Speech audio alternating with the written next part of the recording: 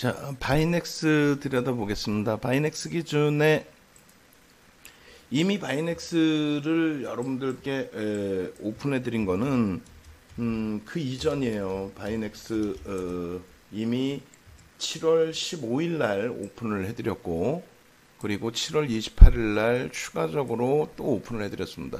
7월 15일 날 그 600만 주 기준이었다라고 한다면 이때거든요.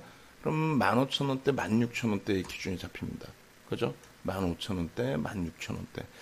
그리고 어, 7월 28일 날 또 천만 주의 기준을 잡아드렸고 천만 주를 넘기고 있어요.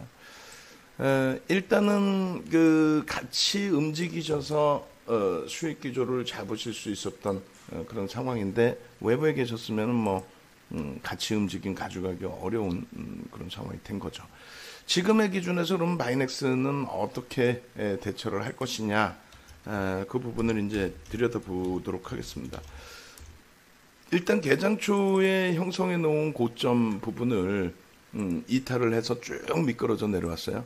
어, 개장 초에 20%까지 들어 올렸었는데 그 부분을 전부 이제 훼손시키고 지금 현재 12.50 22,900원, 950원에 공방을 하고 있는 모습입니다.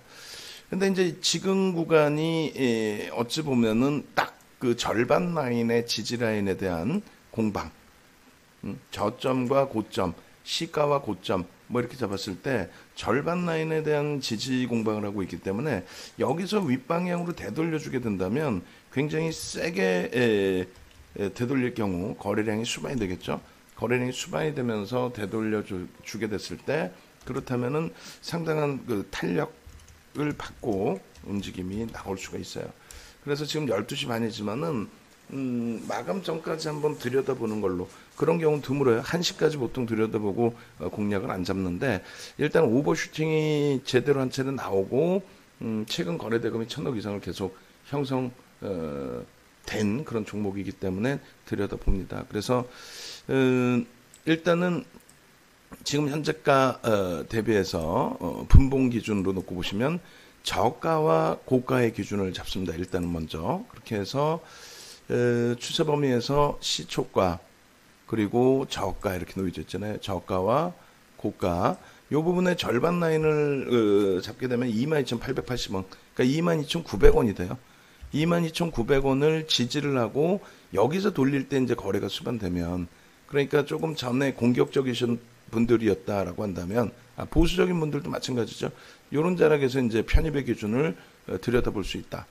그렇게 되는 거예요. 그래서 어, 지금 뭐 매직 계산기를 기준으로 해서 이렇게 음, 여러분들이 에, 3분의 1 지점, 2분의 1 지점 그렇게 해서 2분의 1 지점이 23,100원 시가 고가 대비해서는 또 저가 고가 대비해서는 22,880원, 22,900원이 되는 거죠.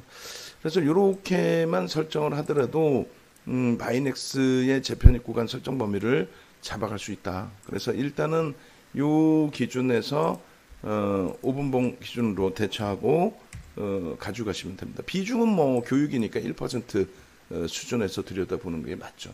1% 수준에서 들여다보고 대처하는 쪽으로. 그렇게 해서 어, 바이넥스 부분 설정을 해드리고요. 어, 그리고 오늘 이제 전체적으로 흐름이 IT 쪽의 강세에 상당히 포커스가 맞춰져 있어요. 이러한 흐름들 뭐 IT의 강세 지속될 가능성이 있으니까 뭐 긍정적으로 해석을 하고 나머지 부분 대처한다라고 말씀을 드리겠습니다.